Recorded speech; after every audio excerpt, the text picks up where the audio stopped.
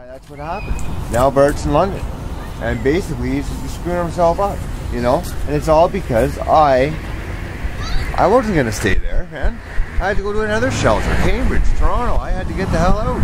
You know, you gotta move around, man. You gotta change your territory. I mean, you gotta think. If you're living a punk rock life, if you're, if you're living in a life where